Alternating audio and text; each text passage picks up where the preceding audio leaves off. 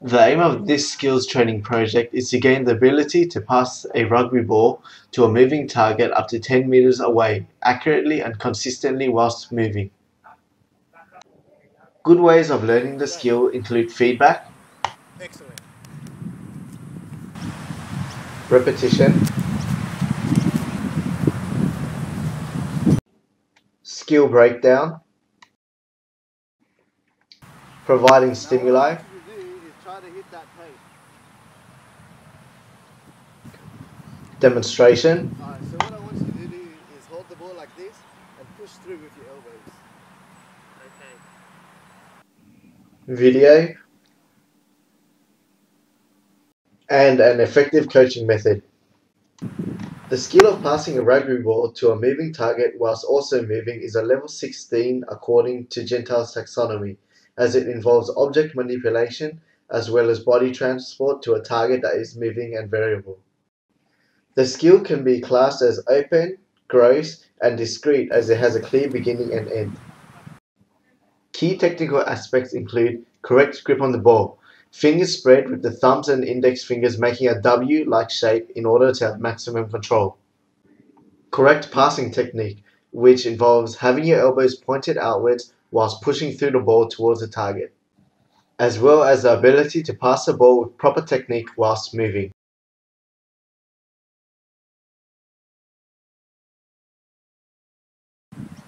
And not to forget the timing of the pass to a moving target, anticipating the movement of the target rather than passing to where it is.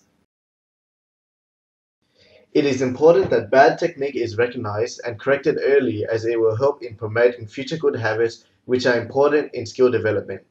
Failure to recognize poor movement patterns will hinder the learner's ability to complete the skill and may lead to poor motivation and frustration. Strategies used to correct poor technique include the sandwich technique, Now your pass was good, but you need to make sure that you pass to where I will be, not where I am. But keep it up. Okay. Yes. guided discovery, My passes keep going up. Why do you think that's happening? I think because I'm throwing them, like pushing the ball up rather than through towards the target. use of motivational models, That's spot on. And also use of metaphoric imagery as well as the participant asking questions.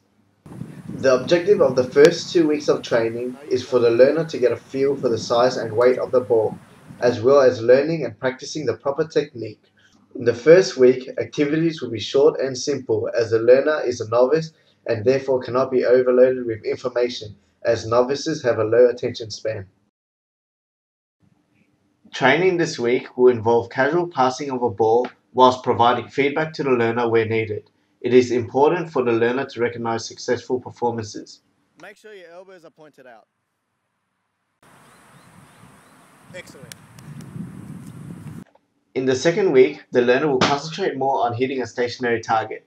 The implementation of a practice target allows the novice to progress to a higher skill level indicated in Gentile's taxonomy. Having a target allows the learning of the skill to be put into practice rather than throwing the ball as a means of skill acquisition.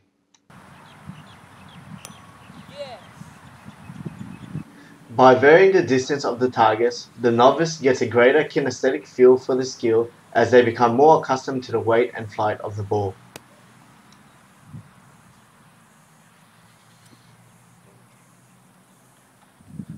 It is important that feedback is short and concise, where live demonstration can be used rather than verbal instruction. It is important that the learner understands good technique. In weeks 3 to 4, body transportation as well as a moving target will be introduced to the learner.